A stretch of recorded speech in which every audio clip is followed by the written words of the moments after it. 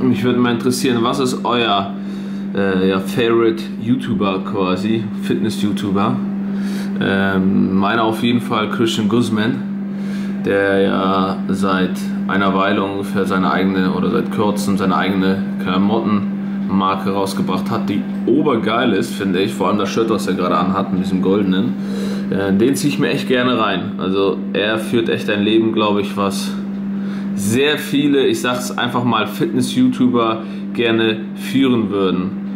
Äh, ja, jeden Tag irgendwie was Neues, immer ein Action, immer Business, immer Sport, äh, große Kooperation, auch hier mit Steve Cook. Also kann ich echt nur jedem empfehlen, der ihn noch nicht kennt. Englischsprachig, kommt aus Texas.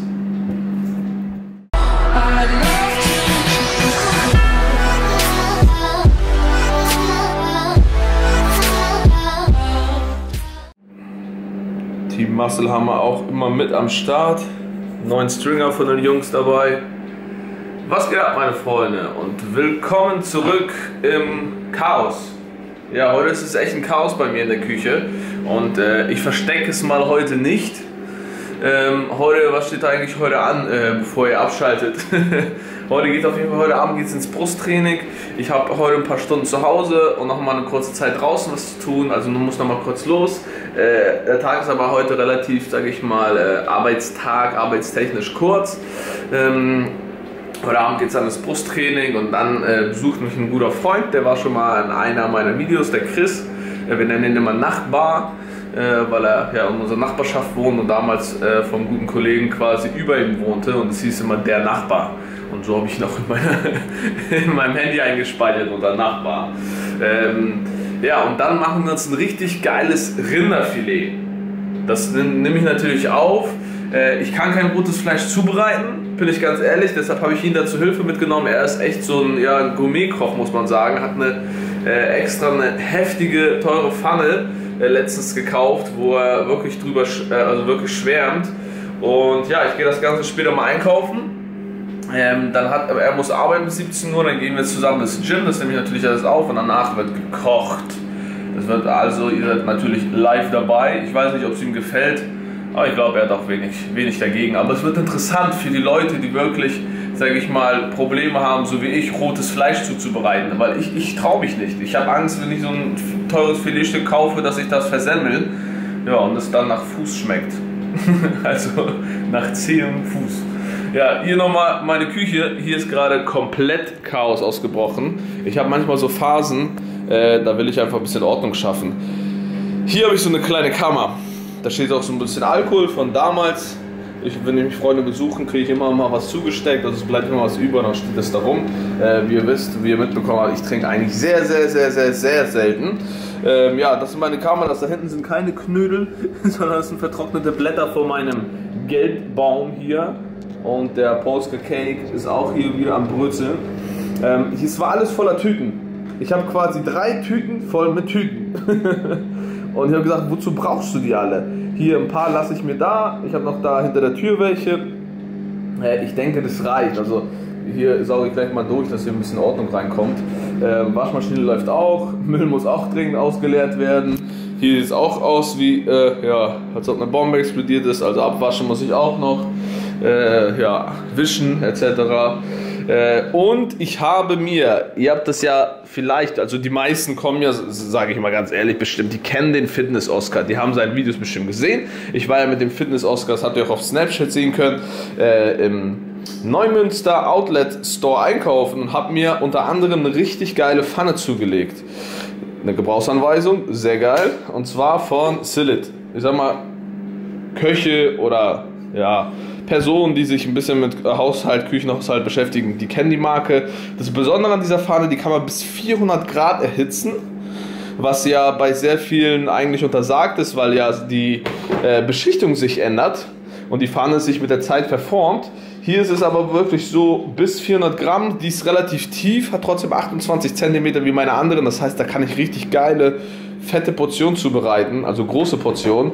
Und ähm, sie ist so beschichtet, dass man äh, eigentlich kein Öl braucht. Also man kann ohne Öl zubereiten. Und ihr glaubt es nicht, was die gekostet hat. Die kostet normalerweise, normalerweise hier Outlet-Preis, also der Outlet-Preis ist schon 44,95 hier. So. Und äh, da haben die, haben die die reduziert, aufgrund dessen, weil da neue Geschäfte reinkommen und es hieß halt, dass überall nochmal zusätzlich reduziert wurde. Äh, 29,95 und darauf gab es dann nochmal 10%. Das heißt nochmal knapp 3 Euro abgezogen. Das ist oberkrass für so eine Pfanne. Also wenn ihr bedenkt, das ist der Outlet-Preis, das heißt, da kommt noch bestimmt ich sag mal, 30% kommen da mindestens drauf. Das wäre quasi der klassische Kaufpreis, wenn man die jetzt im, sagen wir mal, ja, im normalen Handel kaufen würde. Ich bin gespannt. Ich werde damit mal Essen zubereiten, vielleicht sogar heute später. Und äh, ja, dann berichte ich mal, wie gut die wirklich ist, ob man die empfehlen kann. Und äh, gibt es bestimmt auch bei Amazon, bestimmt nicht für den Preis, aber ich packe sie euch gerne mal dann als Link in die Beschreibung, nachdem ich sie getestet habe vielleicht ja, steht das auch heute an. Ja, ich mache hier wie gesagt ein bisschen Klarschiff. Äh, frühstücke jetzt erstmal, äh, setze mich dann an den Rechner, äh, muss ein paar Dinge erledigen. Oh Mensch, ich kann dieses Chaos selber gar nicht sehen, grausam. Normalerweise würde ich sowas nie auf Kamera zeigen. Und äh, ja, dann schalte ich später nochmal rein, glaube ich, wenn es ähm, zum Mittagessen ansteht. Ich habe das jetzt mal nicht gefilmt. Ich bin jetzt losgefahren und war bei, ja, wo war ich? Wo war ich? Ihr könnt das raten. Also mittlerweile komme ich mir selber blöd vor, das jedes Mal vor der Kamera zu erwähnen, aber es ist mein Leben. New Saigon auf dem hinteren Parkplatz gerade. Ja, gab es wieder das tägliche, was ich sonst immer esse. Zwei, Nummer 32, falls ihr mal hier seid. Ähm, Jahresstraße ist das. Äh, der Ort nennt sich hier Kampnagel, also Winterhude Stadtteil und ähm, 32 mit Hähnchen, Gemüse, Cashewnüssen und dreimal Reis. Und jetzt fahre ich äh, noch mal kurz, genau, ich hatte noch mal zwei Termine. Fahre jetzt noch mal kurz auf den Termin und dann düse ich zum Einkaufen, denn heute Abend kommt ja der Chris zu mir, der Nachbar, und dann machen wir richtig geiles Fleisch. So, ich war jetzt einkaufen. Oh Gott, das fällt ja alles zueinander. War bei Raff das ist ein Bramfeld Metzger. Hab da Rinderfilet gekauft für 500 Gramm 24 Euro, also knapp 25 Euro. 50 Euro das Kilogramm. Sehr geil. Schönes Rinderfilet. Das mache ich mir mit Chris nach dem Sport. Dann natürlich Eier. Bananen, denn meine Bananen waren leer. Bananen brauche ich immer. Fleisch Hähnchenbrustfilet, Rapsöl. Rapsöl für diese Pfanne. Denn äh, in dieser Pfanne sollte man auf jeden Fall so, so oder so äh, sollte man aufpassen mit Olivenöl, wegen, damit es nicht zu sehr erhitzt wird. Und Kokosnussöl soll wohl äh, in der Pfanne äh, nicht genutzt werden. Da die zwar trotzdem äh, relativ, ja, wie sagt man, der, ich habe ja gesagt, bei der, eigentlich, bei der eigentlich kein Fett braucht. Im Fall des Falles aber äh, wurde mir gesagt, Rapsöl nutzen auf jeden Fall, äh, damit die auch erhalten bleibt, wegen der, weil das eine spezielle Beschichtung ist. Cashewkerne, naturbelassen natürlich. Dann habe ich mir nochmal ein Kilogramm Reis geholt, Naturreis. Hier warum Naturreis? Eigentlich ähm, relativ simpel, denn ich habe jetzt vieles nachgelesen und auch eigene Erfahrung. Äh, aus eigener Erfahrung her kann ich sagen, dass Naturreis zwar etwas teurer ist, der kocht auch länger, der braucht etwas mehr Wasser, aber äh, der ist besser verträglich für den Magen. Naturreis, das ist tatsächlich so. Dann hier nochmal äh, Bio-Dinkel Natur. Drink, Gewürzgurken, heute zum Fleisch nochmal ein paar kleinen schnibbelt und meine heißgeliebten Beeren. Oh, sehr geil. Sind schon echt, sind schon nass, muss ich mal reintun. Meine heißgeliebten, ja, meine Bärenmischung war im Kaufland, war ich, genau, im Kaufland. Das tue ich jetzt mal hier rein und dann äh, packe ich meine Sachen, denn der Chris ist auch gleich schon ja, auf dem Weg, also er macht gerade Feierabend. Oh Mann, Mensch, bin ich braun oder sieht das nur so aus? Ähm, genau, also der Chris. Oh Gott, ja sollte nicht zwei Sachen auf einmal machen. Oh shit, das hört sich nicht gut an. So, dann schalte ich mal ab, bevor mir jetzt meine Tiefkühle gleich kaputt geht. Und dann sehen wir uns gleich im Gym, Freunde. ist da los? Äh, wir haben uns jetzt aufgewärmt. 10 Minuten auf dem Crosstrainer. Mr. Chrising und ich. Wir fangen jetzt mit Bankdrücken an. Also ein bisschen ein paar Sätze aufwärmen und äh, Rotatorenmanschette, wie ihr es von mir kennt. Und also ja, ich mache vier, vier Brustübungen. Eigentlich so wie die letzten Trainingseinheiten, die ich mir abgefilmt habe auch. Und dann, Alter, da ist ein Fleck auf der Linse. Ja, und dann schalte ich später nochmal rein.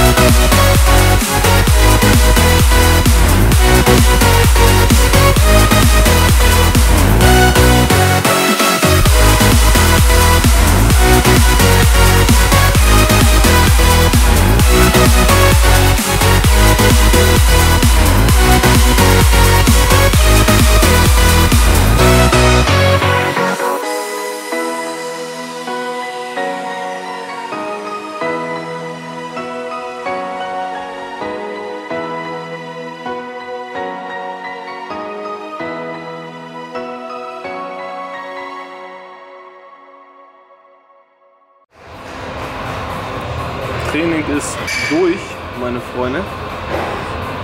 Wie ihr vielleicht gesehen habt, äh, war das ein relativ ich sag mal, ein leichtes Training im Gegensatz zu sonst.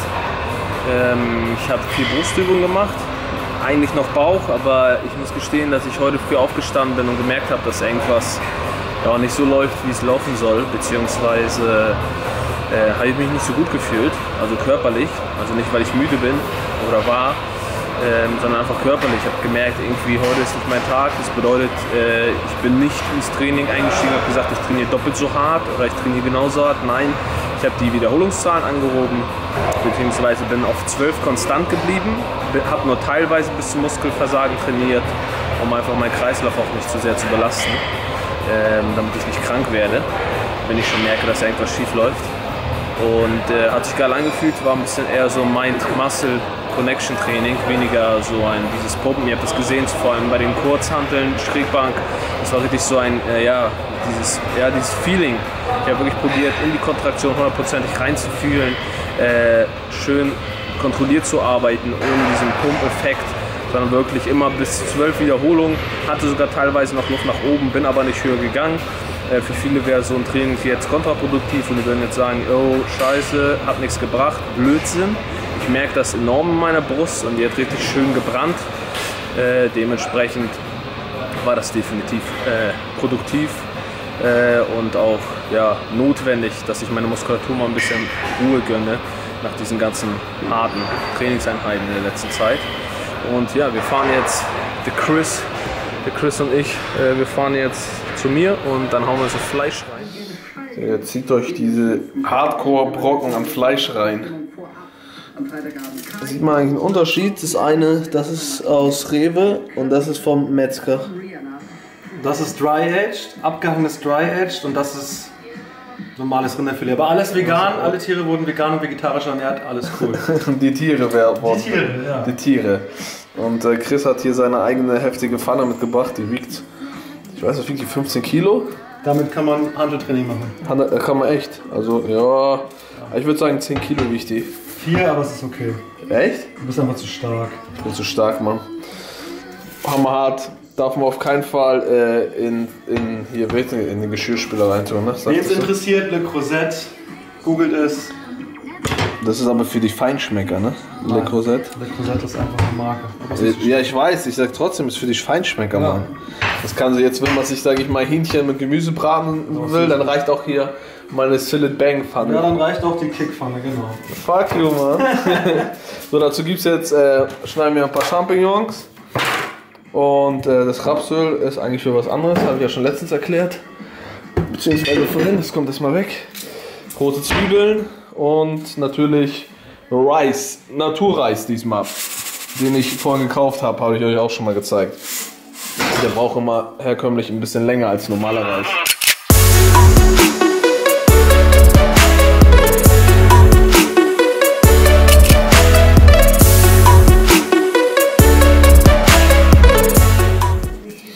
So, das wurde jetzt schon gepfeffert und gesalzt.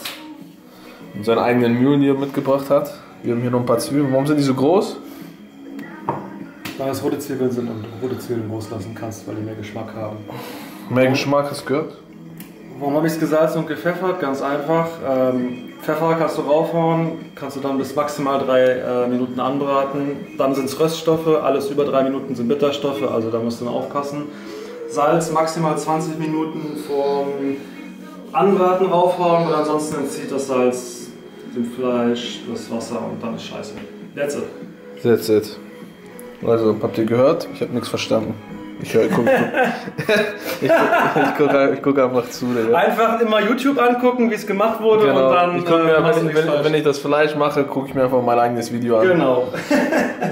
Äh, Die muss erstmal heiß werden, ne? Wir hier probieren fürs Gemüse nehmen So. wir meine Gainpfanne. Was wir jetzt machen ist, wir hauen die Pfanne heiß und zwar auf volles Rohr. Was ist das für eine Pfanne? Das ist eine Pfanne?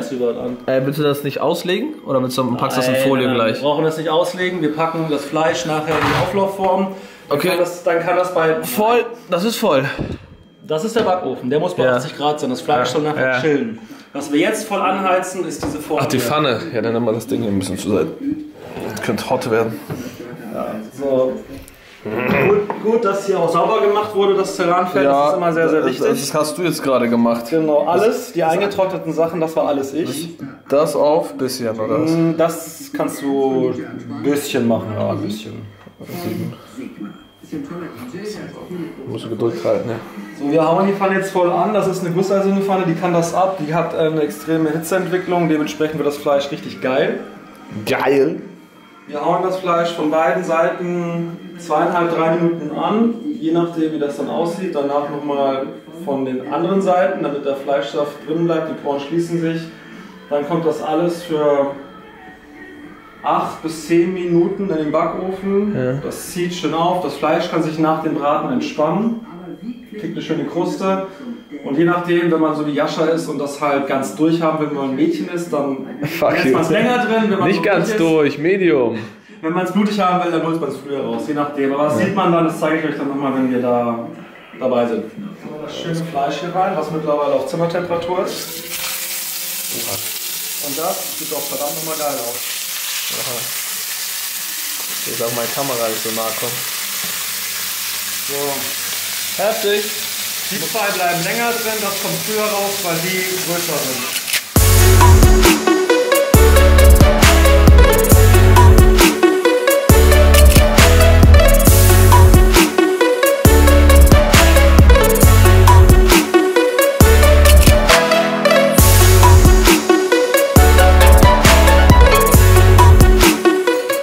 So, Fleisch ist fertig, haben wir eben aus dem Ofen genommen. Ich habe schon probiert, wir haben es da angeschnitten, da sieht man das.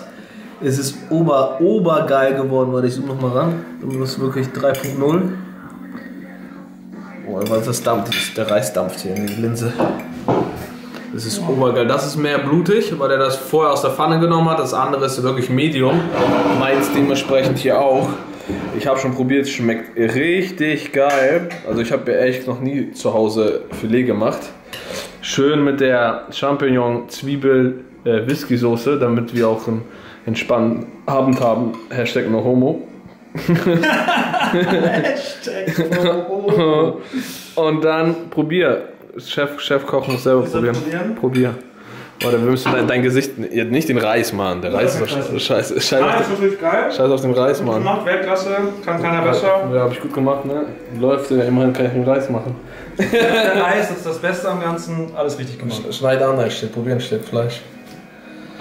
Ich habe schon probiert, ich find's obergeil. Natürlich geil. Oberhart, ne? Perfekt. Oberhart. Oberhart. Geh los. Geil, also bevor das Ganze kalt wird, hauen wir uns das jetzt rein. Ich habe schon probiert und es schmeckt richtig geil. Also wer schon mal ein American Tenderloin oder so ein Filet gegessen hat im Blockhaus, ähm, ja, es schmeckt mindestens so, wenn nicht noch besser. Wobei, äh, auch die haben diesen, Besser. die haben diesen, Besser. Hol diesen Holz, äh, nicht Kohlegrill oder was haben die? Scheißegal, heute benutzt für den Arsch. Das ist Ja, also es schmeckt besser, definitiv besser.